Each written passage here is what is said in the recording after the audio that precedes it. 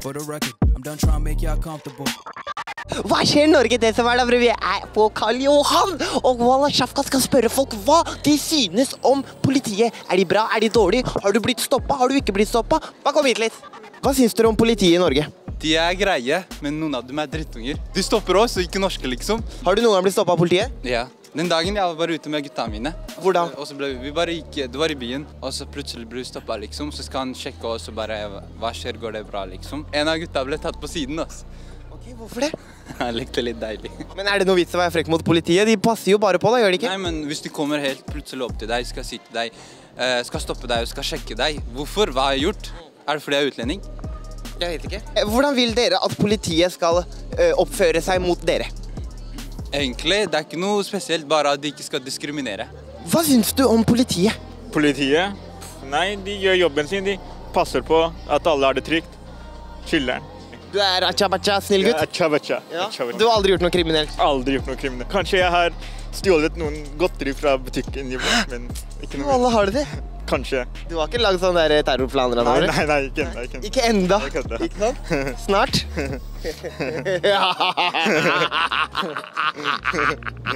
Politiet i Norge, vi var i Tyskland, der hadde de store automatgevær.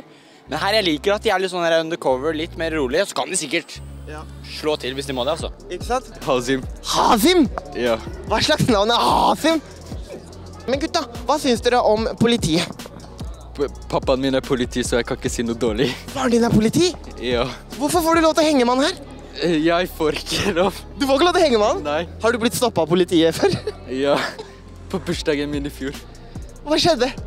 Eh, Det var noen som planla et møtested bak Mækkern. De skulle krige. Ok, Mot noen andre? Ja. Og du skulle også være med og slåss?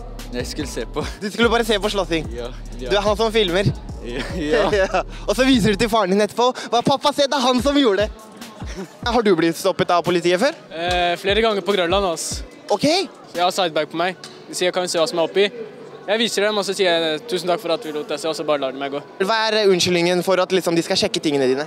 De tror jeg selger under broa. Det som er da, Jeg var sulten, ikke sant? Fordi jeg har bare spist to knekkebrød i dag. Og så kommer det en heftig dame til meg som står der og hun bare hører. Har du lyst på gratis bakt potet, eller? Skal, oi, oi, oi, oi, oi, oi, oi. Have you got any problems with the police? Nei, nei. Nei, aldri. De, de er snille. De er snill. Ja. They uh, stop you in the street. No, no. No. They say you are criminal, I check your bag. No, no, no, no. you we, we are all legal. Yes, ok. Lovlige greier. Jeg skal filme videre nå. Bare bli med. bare bli med. Vi skal gå og filme nå. Kom, kom, kom.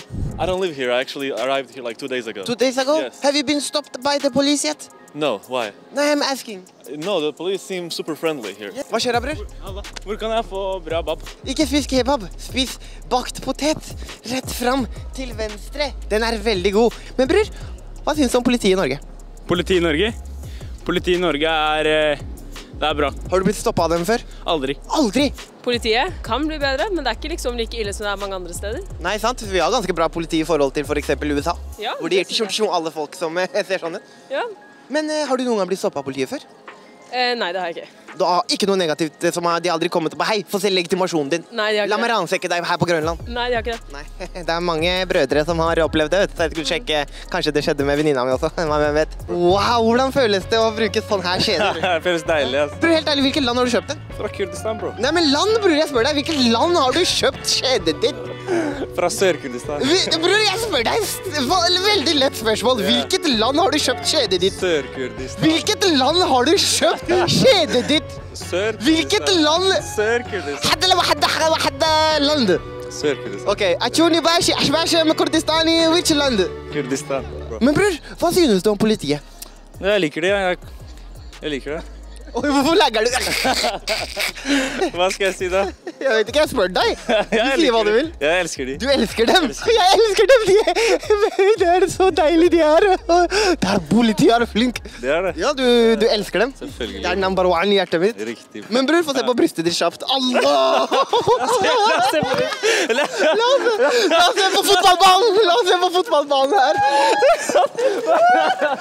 La oss se på ditt, da. Han er ti ganger verre. Ti ganger verre. Ti ganger verre. Jeg, jeg er nyshava i Du forhold til Du nyshava i dag tidlig. nei, nei, nei, nei. Men hør, da. Har du noen gang blitt stoppa av Bauer før? Politiet? Nei, ikke som jeg kan huske. ass. Aldri stoppa. Seriøst? Yes. På flyplassen, ja, men ikke i byen og sånt. Seriøst? Det som er da, bror Walla, som du så, folk har faktisk blitt stoppa av Bausch. Du får selv vurdere hvem som ble stoppet og hvem som ikke ble stoppet. Det er en vurdering du skal ta. Men hva er ditt favorittord å bruke på politiet? Jeg bruker Bausch. Hva bruker du, bror? Kommenter, og så like. Vi chattes, mann. Bror, Walla.